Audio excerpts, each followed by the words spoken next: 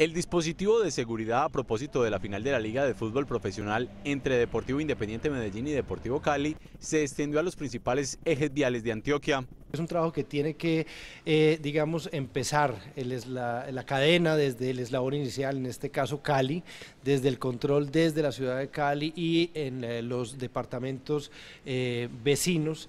Vamos obviamente a hacer un trabajo muy articulado en el municipio de La Pintada, con la policía Antioquia se tiene un dispositivo especial. En Antioquia se ordenó el llamado cierre de fronteras para los hinchas del Deportivo Cali, quienes no podrán llegar a Medellín al estadio solo podrán ingresar aficionados del DIN. Hemos estado en contacto con los eh, transportadores para que precisamente no sean utilizadas las cama bajas, no sean utilizados los camiones por eh, algunos eh, hinchas para evitar los controles. Los controles se sumarán a los establecidos por la celebración del puente festivo del Corpus Christi, donde en los seis ejes viales del departamento se tendrán 12 puestos de control con 400 agentes de tránsito.